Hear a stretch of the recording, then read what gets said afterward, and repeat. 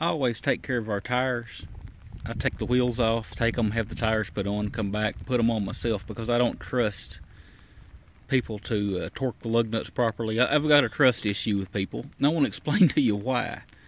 My back's been hurt, so Lisa didn't want me fooling with taking these lug nuts off. She went and had two new tires put on the back of her van. And look what they've done here. See this little cutout?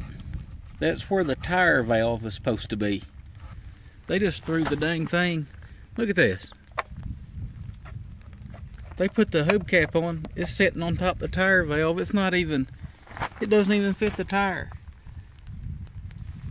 The, the hubcap's sticking out because of the tire valve right there, which is supposed to be right here in this cutout. And they didn't just manage to do it on one of the tires. They did it on both tires.